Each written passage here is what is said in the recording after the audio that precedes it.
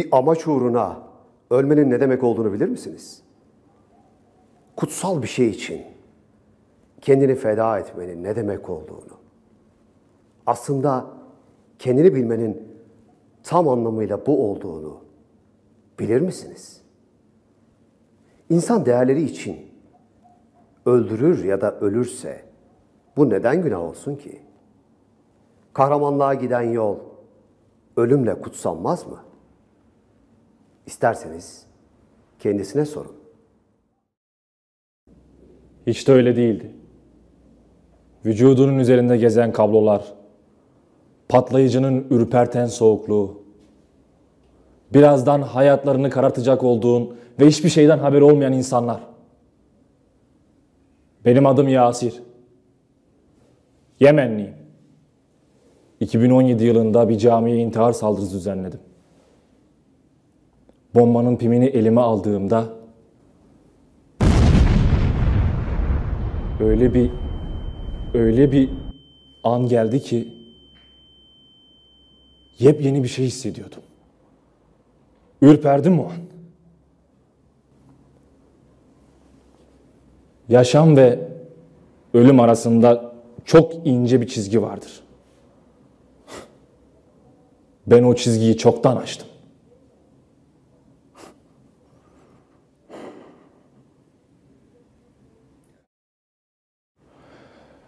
Kararttığım hayatların ağırlığı ve sözde dava dediğim şeyin şanının üzerine çoktan toprak atılmıştı bile. Pişmanlık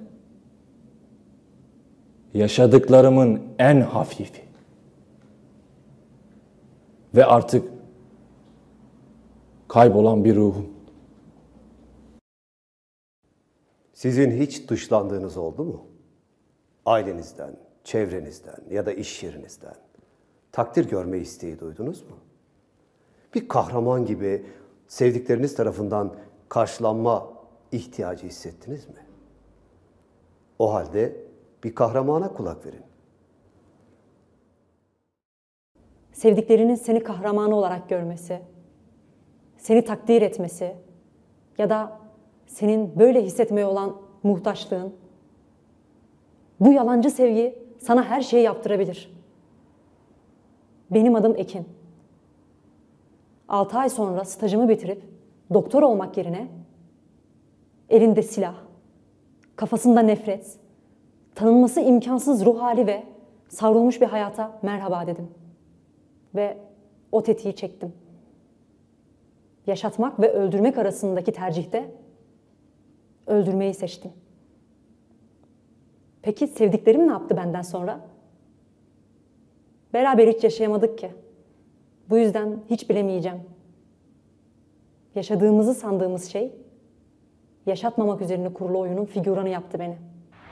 Hepsi bu kadar.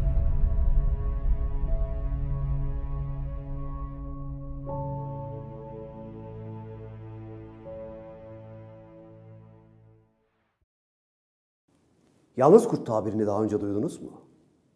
Bu insanlar örgütlü yapılardan uzak bireysel eylemler gerçekleştirirler. İnternetten, sosyal medyadan ya da çevrelerinden etkilenerek. Sebebi nefret olabilir ya da ideoloji olabilir. Tıpkı Madrid'de 49 canı alan Carlos gibi. Carlos büyük bir amaca hizmet ediyor olamaz mıydı? Olamazdı. Olmadı da. Önceleri bilgisayar oyunu gibiydi.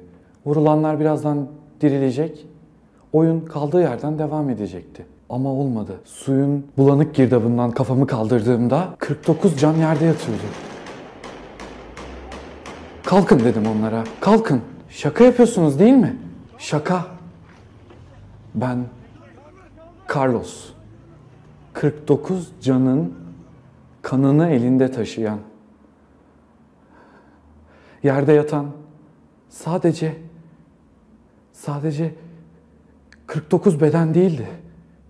İnsanlığın umudu da yerde yatıyordu. Ben insanlığın umudunu da öldürmüştüm.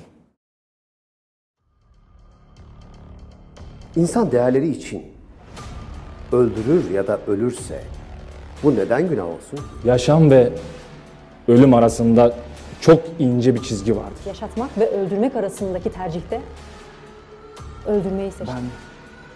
Ben Carlos. 49 canın kanını elinde taşıyan. Kahraman gibi sevdikleriniz tarafından karşılanma ihtiyacı hissettiniz. Kahramanlığa giden yol ölümle kutsanmaz? Pişmanlık yaşadıklarımın en hafif,